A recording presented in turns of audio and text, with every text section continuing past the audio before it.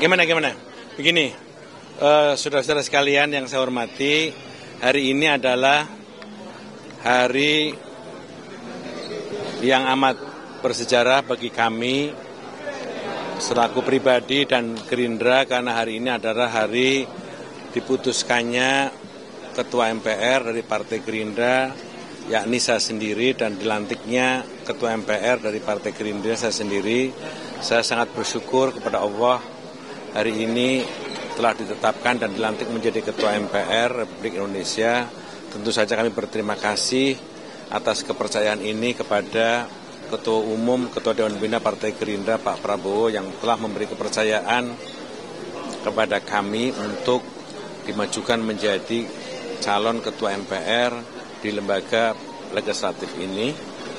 Kemudian kami juga menyampaikan terima kasih kepada para ketua umum yang mempercaya yang memberi kepercayaan kepada kami kepada Ketua Umum PDI Perjuangan Ibu Megawati Soekarno Putri, kepada Ketua Umum Golkar Pak Bahlil, kepada Ketua Umum Nasdem Pak Surya Paloh, kepada Ketua Umum PKB Pak Muhaimin, kepada Ketua Umum Presiden PKS Ustadz Salim Al-Jufri dan Presiden PKS eh, Ahmad Herawan, kemudian kepada sama yang sebelumnya Ustadz Ahmad Syaihu, terus kepada Ketua Umum PAN Pak Zulkifli Hasan, kepada Ketua Umum Partai Demokrat Pak Ahmad uh, Agus Harimurti Harimurti Agus Harimurti Yudhoyono.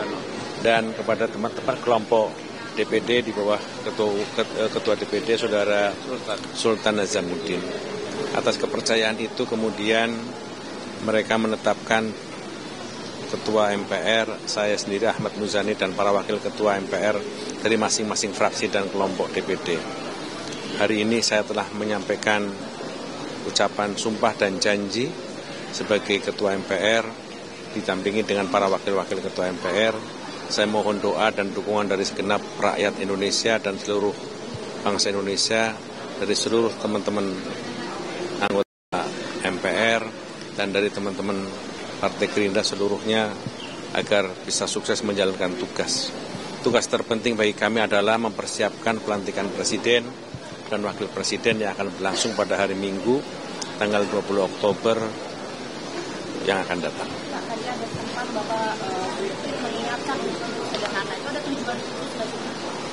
Hidup sederhana adalah sebuah cara bagaimana kita itu bisa menikmati atas apa yang sudah diberikan oleh bangsa dan negara, oleh Tuhan Yang Maha Esa, oleh Allah kepada kita sehingga itu bisa menjadi sebuah cara kita dalam laku dan perilaku kita sehari-hari.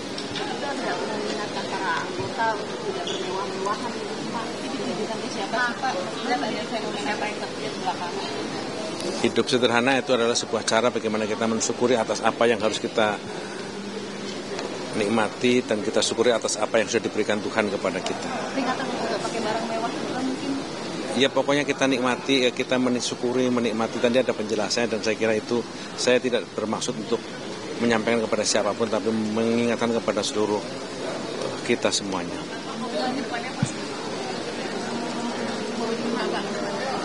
Kami akan berusaha dengan sekuat tenaga dengan teman-teman wakil ketua dan anggota MPR yang ada untuk tetap menjaga persatuan, kesatuan, dan itu adalah harga mati agar persatuan, kesatuan, kebersamaan, kegotong royongan harus tetap kita jaga dalam situasi dan kondisi apa pun karena ini adalah agar pembangunan bisa jalan.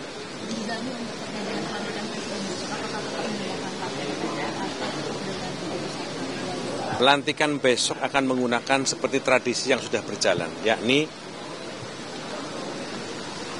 kita akan mendengarkan keputusan dari Komisi Pemilihan Umum, setelah itu pelantikan Presiden, kemudian nanti Presiden akan mengucap sumpah janji seperti dalam pasal 9 Undang-Undang Dasar 45 di hadapan Ketua dan para pimpinan Majelis Permusyawaratan Rakyat. Ini, ini penetapan komisi di DPR dan juga AKD itu masih menunggu nomenklatur kepastian kementerian Pak Prabowo mendatang. Nah sejauh ini sebagaimana update-nya lalu juga eh, ya apakah sudah ada rencana mengganti PD Perjuangan dan yang selama ini digadang-gadang ingin masuk ke kabinet. Itu itu itu urusan DPR. Nanti DPR yang akan ngambil keputusan. Ya, ya, ya, DPR. Oke. Cukup ya sementara ya. Oke ya. terkait dengan amandemen kembali untuk KPPN apakah masih akan ada Itu bagian dari rekomendasi yang yang kita terima dari MPR periode yang lalu.